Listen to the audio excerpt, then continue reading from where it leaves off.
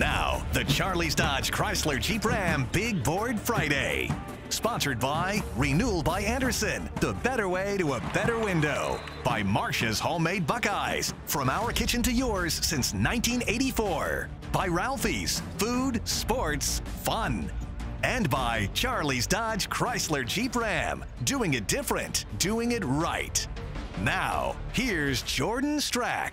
Welcome into Charlie's Dodge Chrysler Jeep Ram Big Board Friday, our final show of the season. We have a ton to get to. District finals in boys basketball, a regional final in girls basketball, the Battle of I-75 on the men's side, plus the Walleye and BGSU hockey all in action. But we begin with the trip to the state final four on the line between Findlay and St. Francis in hockey. St. Francis is the defending state champs, looking to punch their ticket once again to Columbus, but Findlay looking for their first trip since 2002.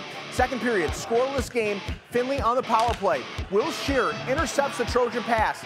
It's a two-on-one the other way. He fires off a shot. The rebound is right to Gordy Hunt. He bangs it home. The Knights strike first with a shorty. And then into the third period, it's still 1 0.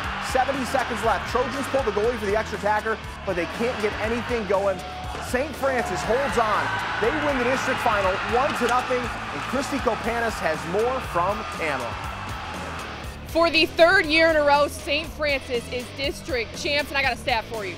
Chris Varga has been a head coach in the district final nine times, and he is a perfect 9 and 0. But Findlay, you got to give them credit, made the Knights earn it. This was not easy.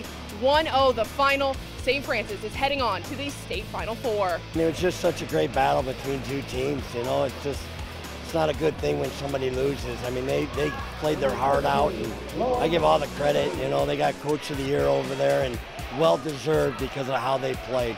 I think that's a great wake up call for these young men on our team to say, hey, maybe we're not that good. Maybe we need to work harder in practice. We didn't, we didn't put as many, uh, or the puck didn't go in as, as much as we wanted to, but, you know, we got the one and we kind of just kept battling and it ended up, ended up working out. You know, when we're clicking, we, we have a great chance to win the st state championship this year, I think.